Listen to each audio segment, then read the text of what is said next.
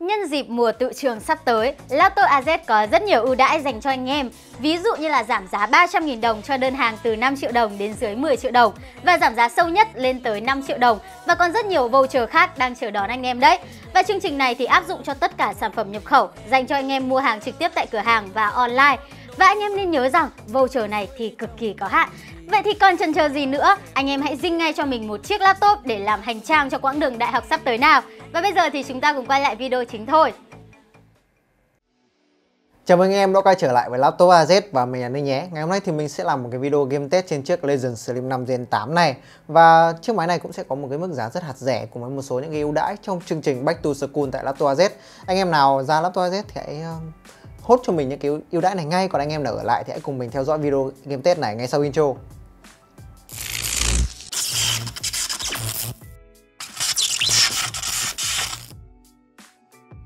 Và như thường lệ thì link sản phẩm mình sẽ để ở dưới phần mô tả để anh em có thể click xuống và tham khảo. Và đầu tiên thì hãy nói luôn về cấu hình của chiếc Legend 5 Slim Gen 8 này thì chúng ta sẽ có Ryzen 7 7840H với 8x16 luồng. Chúng ta cũng sẽ có cả đồ họa đó chính là RTX 4060 và chiếc máy này slim nhưng không bị cắt giảm điện gì cả, sẽ có full 140W cho anh em. Và chúng ta cũng sẽ có sẵn luôn 16GB RAM và sẽ có một TSD lưu trữ thì đầu tiên, đây sẽ là một cái combo tuyệt vời để chơi những tựa game. Và những cái tựa game đầu tiên mình muốn test cho anh em xem đó chính là Liên minh huyền thoại và CSGO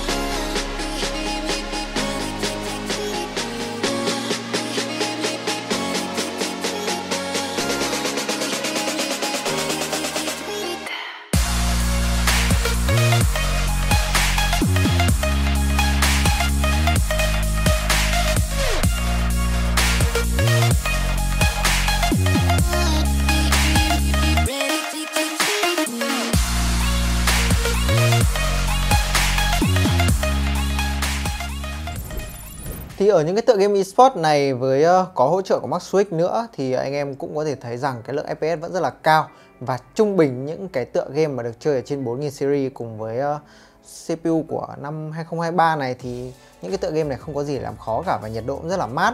Vậy cùng mình xem hiệu năng của chiếc máy với những cái công nghệ như là DLSS 3 và Ray Tracing ở trên những cái tựa game mà phải được coi là tối ưu không được kém này hay là chúa tể ăn VRAM để xem bộ không không có cân được một cách ổn định hay không.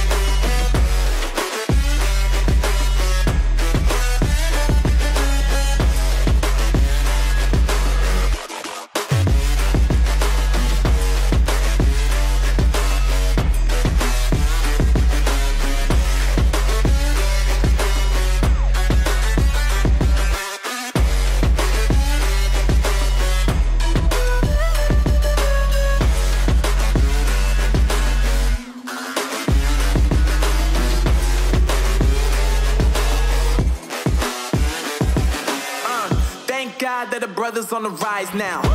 Endless celebrations all in my house. Levitating now, I'm super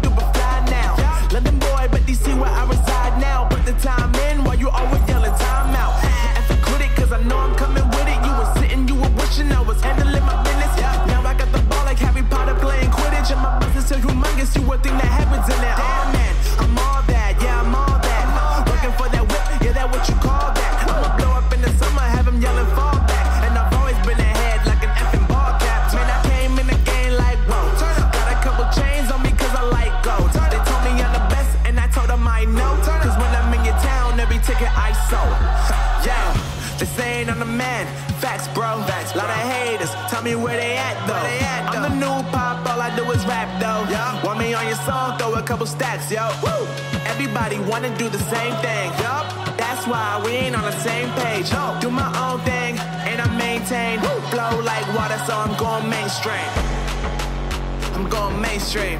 Flow like water, so I'm going mainstream. Yeah, I'm going mainstream. Flow like water, so I'm going mainstream. I'm going mainstream. Mainstream. Flow like water, so I'm going mainstream. Yeah.